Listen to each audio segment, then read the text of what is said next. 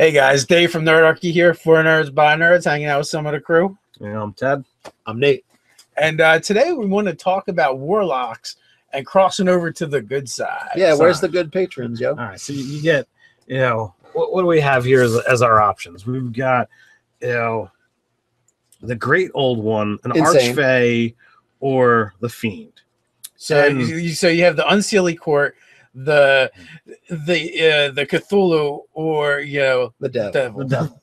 So, uh, in in a game that I, I was playing that's not not recorded here, I had a I had a warlock, and like at character creation, I want to I'm asking the GM, I'm like, you know, what what do you see as as kind of options because I don't like to play evil characters all that Mm. often. It, it's got to be something that you know, I get built up. Um, you know, he's like, oh, I don't see I don't see warlocks as anything that can be good. So you can't really have anything that that goes that route. So I'm like, hmm, I wonder what other people feel about this. And I know for the Spelljammer game that we that we did once, you had me as you know, I, I played a warlock for that, and you you allowed us to, to be something pseudo neutral. Y- yeah, more of a force of nature Right. than than than you know. So you went with the old one pact, right? Like a Right. galactic intelligence. but kinda? but you know totally i totally uh, ripped off from marvel the the eternity entity Mhm. which is basically uh, you know a, a humanoid silhouette made of basically dark matter space and stars Mhm. kind of deal and and you know so so so that was kind of um what we went with i think you went with pact blade uh Yeah. and uh, you know my you know, I don't know if we went delved into it or not, but my idea of when you summon your pact weapon is it's actually made of that same stuff, you Right. know, the stars and the darkness. oh, the sport. Yeah. The Yeah, spear yeah, sword. yeah, yeah. Sorry, that's what I remember about Yeah. the most. Well, and the and the, the stars and darkness was pretty cool, but So you know, so yeah, why can't there be a good one? I guess you know it crosses into the point of it's a if it's a good thing, it it tends to go to like a, a religion and a deity kind of deal. But like you know, so is it that uh, you know you have to you know is it that like some beings are too great to actually be patrons? Like would that like blow the person up if they like tried to like here's a slither of my power? Oh man, Oh, again. no, I popped into the right, person so- balloon. So you know we we- we've all read the books, but it says you know a, uh, a warlock is defined by a pact with an otherworldly being. Uh, sometimes the relationship between a warlock and a patron is is like that of a cleric and a deity, though the, the beings that serve as patron for warlocks are not gods. So, all right, so you technically can't have it as as a full on god, but there still can be greater beings. You just need Um, you just need the right filters and funnels. Yeah, so, so- like a solar of some some deity might give you the power and be like, hey, you know, my god rang me up and said I gotta do something. So Here, uh, pinky swear on this. yeah, pinky Like, swear on "Oh." this magic sword. What what about um what, what about having a a pact with a an uh you know an ancient silver dragon uh, silver dragon you know Hmm. they're they're they're a goodly being in the world i think they're you know in the middle of the road spectrum alignment wise so i mean you could definitely definitely go that kind of route if dragons have the ability to achieve that uh that status Yeah, well, I, you know, the wonderful thing about warlocks is Is warlocks are wonderful things? yes, they're very they're very ambiguous about you know the wording of things and what they are, and like, and and granted, yeah, if a demon can like they don't actually say what kind of fiend per se, but if a fiend can grant you uh powers as a warlock, yeah, why not? And, and some other kind of elder being like a dragon or uh or a solar or even um you know not necessarily good or evil or but the you know the oldest of the modrons you know th- they're going to all have their own purpose for you their own machinations going on and you know it's just their motivation is different Yeah. so yeah you could absolutely do that in my opinion you know there, there's other things and there might be even other things that we're not i'm just not thinking of right Right. now So so you know we're we're not gonna you know we're not gonna create another you know patron you know here. We're going to talk video. about the We'll philosophy Just talk about the thoughts philosophy. behind it. But you know, Well, in, major thing first is get rid of the word warlock. That's like big Well, negative juju. yeah yeah i I mean, mean, like you- you're either like this biker dude or uh Yeah. like all outlaw biker, or you know, it, it's you know, warlocks and witches are you know generally, it's just a bad connotation. yeah. So you, you got to think of a name for yourself that you can tell people. peace lock. I'm a peace lock. Peace lock. Peace lock and love lock. but look, looking at at the at the core mechanics of what the class is. So putting this the name aside, you know, you get your invocations, which none of them really. Well, a lot of them have creep factor. Well, I mean, they Some might they might have some of them that's creep factor, but like, okay, you know, the ones that either grant you a spell or grant you a spell at will, that's just additional spell casting. Or, or the one that gives you the skills. What is it, Devil's Tongue or something like that? Um, that it grants two two uh, proficiency with two skills. Oh, beguiling influence. You Begu- gain you gain perception and uh, de- deception and persuasion. So I mean, that's just you know that that could just be like a silver tongue. You know, well, yeah, exactly. That's my point. There's definitely ones that you could reflavor Yeah. a little bit. Life drinker. I mean, first off, it doesn't even actually give you hit points back. So, I mean, I don't like that name in the first place. But you know, life drinker does extra damage. It should just be like a holy aura or a smite. What- What kind of damage is it? Does it? necrotic. Yeah, and you could you could totally go uh, yeah, just radiant with that if make you it wanted to. radiant. um you know so i mean you've got you've got a couple things that do that that do scream oh you know this is this is this is kind of evil evil here but you know it, it those are the things that fall in the options of things. The rest of it is just you know kind of spellcastery with the, the stuff. I mean other than your otherworldly patrons you're getting mystic mystic arcanum is all you're getting between your 11th and 17th abilities.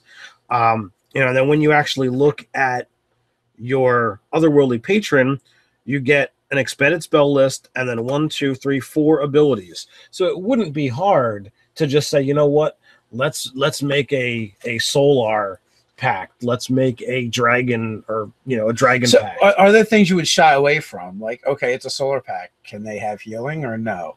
Like, so. Hmm. like well- well, I, I might I might allow them to like heal their own wounds or only be able to Well, heal no, others. spell, we're talking about a spell list, though. We're so there's a spell list, and I don't. I think it could be appropriate that they get um, a cleric domain as their spell list, based on the nature of the solar. Similar to the favored uh, favored, Favored soul, soul, in yeah. the modifying classes on the uh, yeah. on the uh, Unearthed the Arcana. unearthed arcana. And, and and again, these are choices. These aren't you get it. right. yeah, You know, you have to. They still have to choose that. yeah, they're just choices that are now part of your spell list that you can choose now, rather than um, the sorcerer. You just get them with the favored soul. Yes. Yeah, that one's really nice. Yeah. so I mean, if you pick life because it's a solar uh Lathander or whatever that really awesome elven deity is, you know, that kind of, you know, life. So I pick life, so I get cure and whatever. It's fifth level slot. I'm also at curing for sometimes. you know, however many Yeah. spells you get for so so slot. yeah i mean that that makes a lot of sense i mean you know you only get what is it four slots five slots at, at your highest so even if you are taking cure you're really you know limiting limiting your choices um Yeah. Well, that, that being said, though, but the nice thing about warlocks is you always cast them at the maximum level. that is yeah, true which eventually becomes fifth. So I mean, that's a really powerful healing spell when you cast it. Uh, so um, Sorry, I don't do hang hangnails. yeah, if you're not mortally wounded or have a sword in your gut, I'm not going to help you. oh you sprained you sprained your ankle Co- come back to me when when your legs falling off. or has falling off. yeah. Um, so I, I could see that as one of the options. You know, pick a pick a cleric domain, uh, pick pick that spell list. Yeah, I mean that would be a really easy, fast and dirty. You know Yeah. what what what goes with this thing? may be a little too powerful based on some of the spells available. I don't know. I'd have to look at it first before Mhm. I was going to like commit to it. So well, I mean, you'd only get it. You'd only get it up to fifth level spells. You you would ta- you top max out. okay, yeah. Uh, well, no, guess you can go all the way. It's part of your arcanum. You pick them. I Well, yeah, you so- just pick the ones that make yeah. sense. So you could choose. You could choose to have them. But you know, ag- again, too, like you still have to choose those slots. It's not like you're getting them like the favorite soul. Mhm. So you know, even though like even if you had the life domain it, as your spell list, it doesn't actually mean anything unless you start choosing spells from there. So yeah, I, I think it's fine.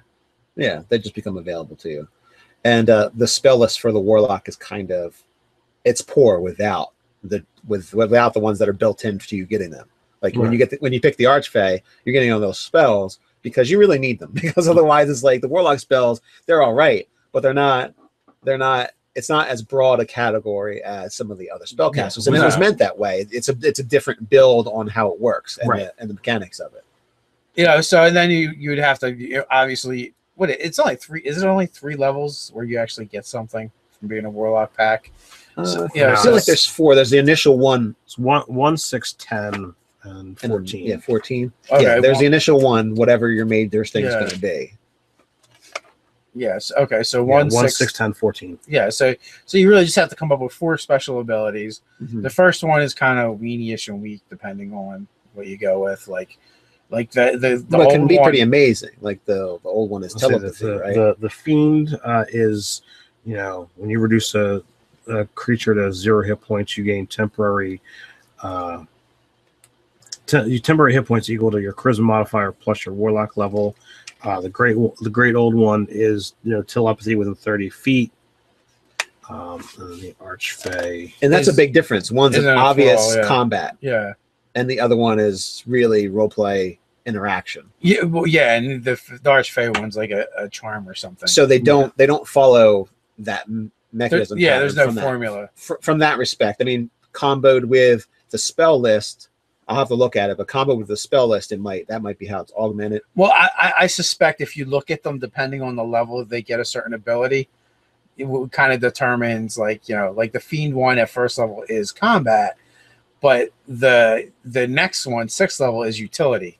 Mhm. You, you know, because it's the dark one's blessing, where you basically get the roll. You, you basically have bardic inspiration on yourself once a day or Yeah. something. Yeah. Whereas Um, the great old one, that's where they get the um the entropic ward. So You where can you can, enforce you can turn an enemy's an enemy's failed strike into good luck for yourself. When a creature makes an attack roll against you, you can use your reaction to impose disadvantage on that roll. If the attack misses you, your next attack roll against that creature has advantage if you make it before the end of your next turn. Which that's pretty So- mechanically. That's pretty interesting. I didn't realize they had that ability.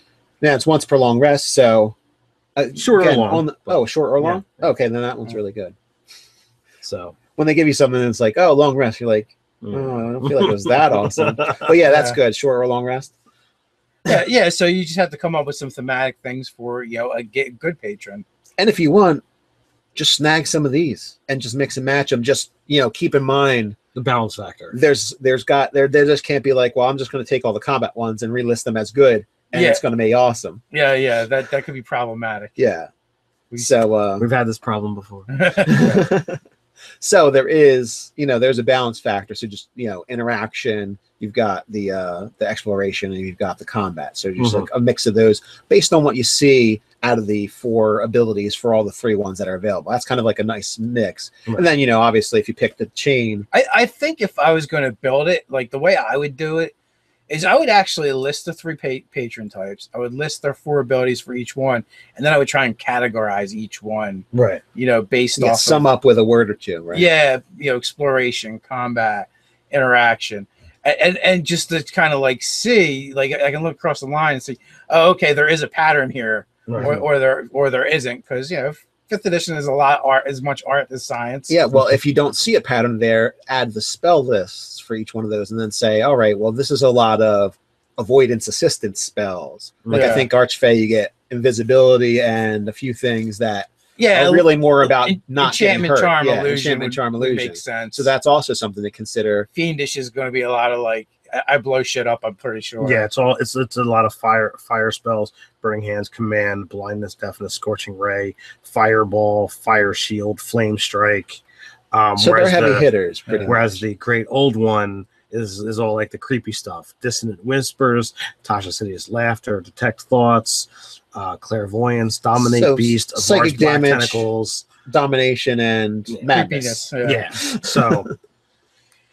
all so there's themes to those. So you know, it's really easy if you're cleric, uh, like if a, if it's from a god, it's like a Yeah. solar god, uh, well, a, a god's solar. Um, then you just say, oh well, this is what I'm about. So this is what my solar is about. So this is the kind of things that my spell should be thematically Right. about. Unless unless you're just going to go straight domain. But like I said, I'd want to look at this, the domain compared to the actual, thing. you know, first through fourteenth um, archetype And that too, it's got to and it's got to match the patron too. Like Yeah. yeah, like them, thematically. I mean, you could do it whole cloth if you wanted to, but you know, looking at the domains would be the first way to go, like you said. Right. Uh, you know, I, Yeah. I, I I always prefer the fast and dirty method over Oh, you know, yeah. doing all the work. making something, yeah, definitely. Yeah. Whatever is actually there that you can take and say this is appropriate, and I'll just rename it and maybe tweak it. Beg, borrow, and steal, baby. Yes. wherever we can. So I think that's a good start, and that's Yeah. that's a total sellable idea, especially when if you know pick a different name than Warlock. Um, All right, so let's let's let's put a, one or Let's let those guys in the comments below help us ah build yes. a, a good patron. Well, I mean, and and and discuss. You know, do you do you think that the the warlock as it's as it's presented is something that can have a good patron? oh, one one point with that. Uh, one of my like initial things against the warlock having a good patron was well that's where they get their power and they're supposed to be kind of like evil and shady. I'm like, well, the wizard is kind of balanced with the warlock, and they don't have to be evil and shaded to be awesome.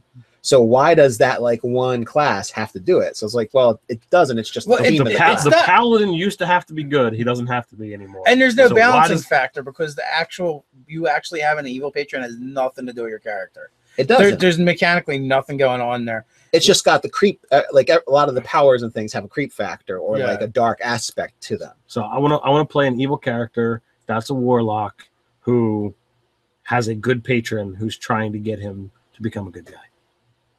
That could work out.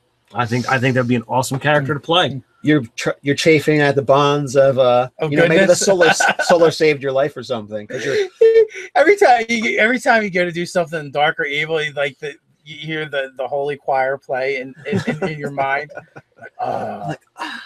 he's gonna steal my soul if I do this bad thing. I, I, th- I think I'm gonna a get an character. imprisonment spell slammed down on my head if I don't do this. Nice I, thing. I think it would be a fun character to play. Maybe the Solar, you know, you know, saw something in a divination that you know this character would be at the right place at the right time, and he screwed up somewhere and would have died Mhm. before he would have been at that point. So he says, "Look, now now he's unwillingly helping old ladies cross the street.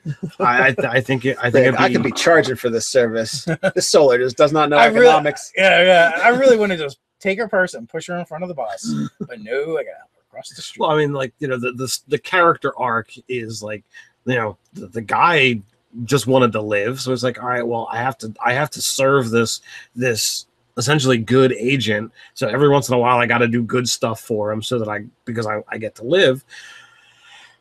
But un you know, unbeknownst to him, the Solar is trying to manipulate him and seeing the benefit of his goodly actions to try and get him to willingly be good. I mean, I just think I, I like it. It's good. I think it puts it puts a lot of really tough onus on the DM to put you in those situations to actually make your character rethink his life and, Well, and I- want to do good. Mhm. I I think those are the kind of things that make for spectacular campaigns. Well, yeah, I'm So- just saying it's it's it's more work to do that for the DM. Uh, well, I mean, Just you make can, it the low, low work. Low work. you can you can work with your DM when you've got you know ideas. I mean, I've I've you know, I've had stories where I've said, okay, well, this is this is the story arc I see for my character. Here's a couple suggestions of what I'd li- like to see happen and this and that. See if you can work them in. That- and I think Dave's just saying that's a big session zero. No, no, no. my- yeah, yeah, yeah. Well, my point is right. Like, so you have to lay that all out and then think about like you have to think about this character is evil.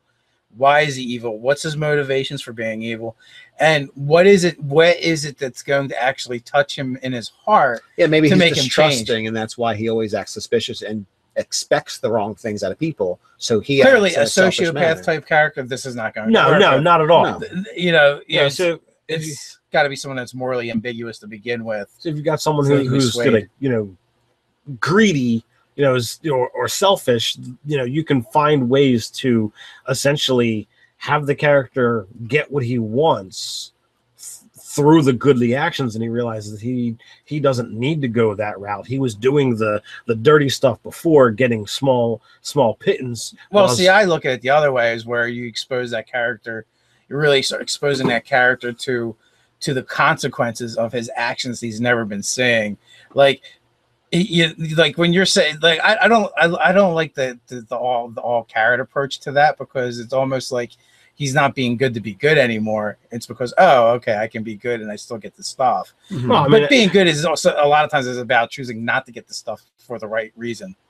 well i mean i was giving you the the the, the quick and easy way out but you know, you, Well, that's not going to make. But but, cool, but we're talking about a really complex character true, concept. true. So I wouldn't want to make it quick and easy. I would want to make it like if you're gonna if you're going for the role play factor, I would really want to get story investment and go, you know, this is you know, what does it take to what does it take to turn, you know, this this evil character good? Mhm. Uh, uh, you know, what's going to be enough?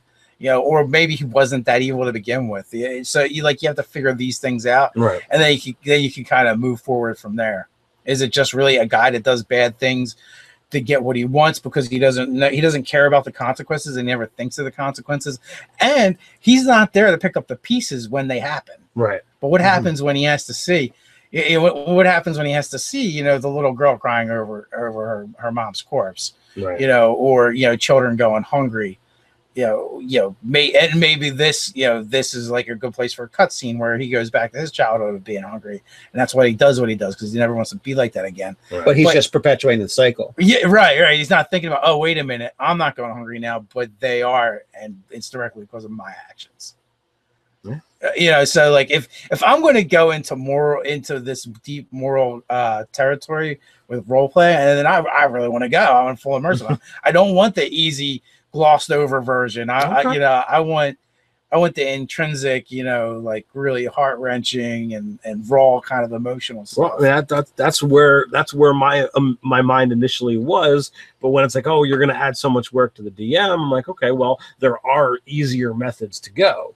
I mean, yours is definitely a, a better story, and you know, definitely reaches out, but it, it does require you know more setup, more work. Well, I was just saying, I'm not averse to it. I'm saying, you know, you know, sometimes we put forth ideas, uh, you know, on these videos, and and and people sometimes misconstrue, like when we say, like in the barbarian video or in the politics video, everyone's like, "Oh, you can do a barbarian." Like, God damn it, we didn't say you can't do a barbarian. All we said is it's more difficult, and you have to use your goddamn head and think about it before you make that character. And you can't be kicking in the door and just killing everything. It doesn't work in that campaign. But yes, you can be a barbarian. We know that. and rant. All right, Dave, don't hold back anymore. Tell us what you really feel. You do not know how many comments are replied to, but you could do it. Yes, that's what we essentially said. I know. Tell me how you really feel. I did the same thing. I replied to lots of them. A couple of times, like I started doing stuff in all caps, and I'm like, no, I can't do that. but yeah, you know, so like there is like an easy way to do it. There's a hard way to do it, and you know, sometimes you can find it in between. And, and you know, in this video, I wanted to make sure we put it all out there. I mean, they'll still put it in there and be like, yeah, blah, blah, blah. but So go ahead and put your comments below. Uh, whether you whether you like the idea of a, a warlock with a goodly patron. Uh, if you want to put suggestions and ideas, you know you know the deal. Uh, like, share, subscribe. yeah, you can also. uh I don't know. Follow us on Facebook, and what, and also I just want to say real quick, if you you know if you want guys want to see us do some good patrons and over on the website, let us know too. That sounds like my job. And uh, you can also start this conversation up o- over on our Reddit site. So until next time, Stay stay, nerdy. nerdy.